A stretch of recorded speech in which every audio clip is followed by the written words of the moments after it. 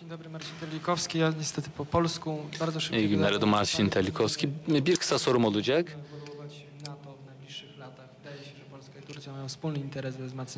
E, NATO önümüzdeki seneler içinde hangi yönde e, gelişmeli sizce? E, Polonya ve Türkiye bir işbirliği içine girebilir mi? Ne düşünüyorsunuz bu konuda?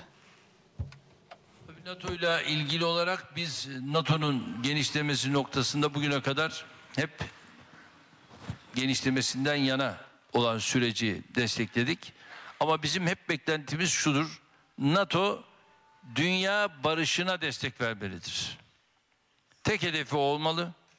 İnsanlığın barışına desteğini vermelidir.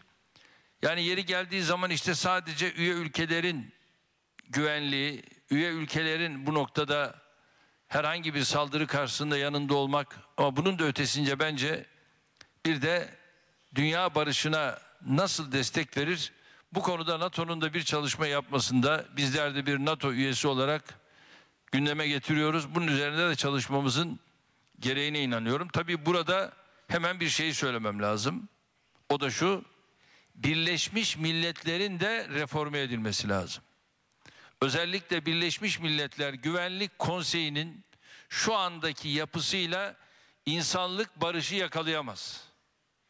Zira Birinci Dünya Savaşı şartlarında alınmış bir kararla oluşmuş bir yapı artık bugünün dünyasına yardımcı olamıyor.